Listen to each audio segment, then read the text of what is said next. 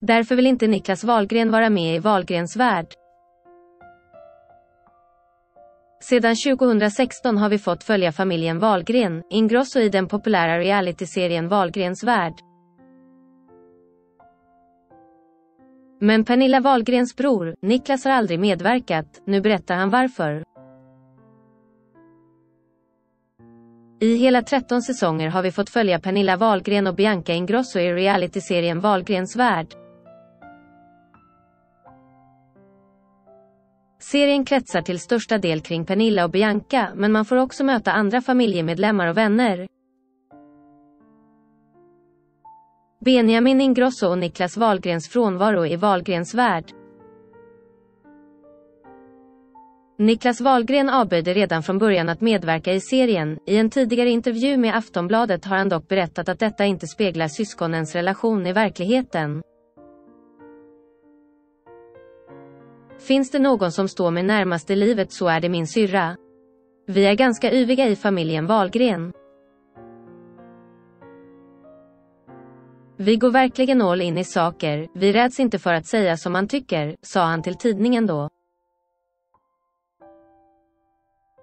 Pernilla Wahlgrens son Benjamin Ingrosso medverkande i serien till en början men emellertid valde även han att inte synas, något som han tidigare berättat om i podcasten Talk to me. Jag håller mig borta från just det och gör mitt egna reality på TV4 istället. För att fokuset ligger på något annat i Wahlgrens värld, sa han då.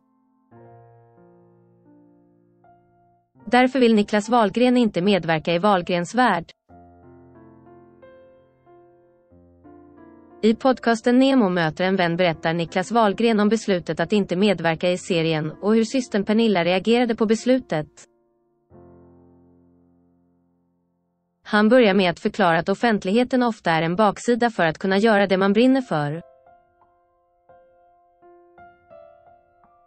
Som i Benjamin Ingrossos fall, musiken är hans passion och kändiskapet kommer på köpet.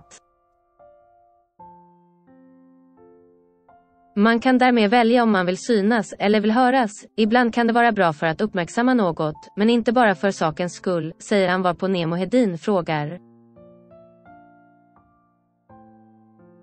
Är det därför du och Benjamin inte varit med i Wahlgrens värld? Niklas Wahlgren påpekar då att frågan är känslig eftersom det gäller familjen och han vill inte säga något dumt, men att det förmodligen stämmer att det är anledningen.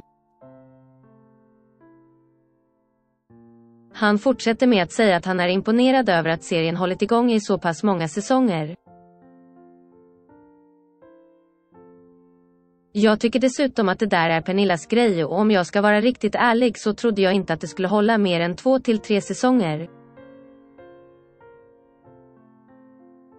Folk har ju vuxit upp med det där nu, jag vet inte ens hur många säsonger det är, sjukt mycket, säger han.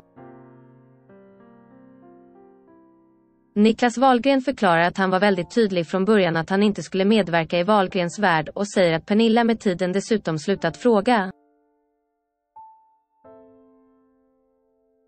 Hon var på mig att vara med i början men inte nu på sistone. Jag var dock väldigt tydlig, så ja, jag har blivit kallad för både det ena och det andra, säger han.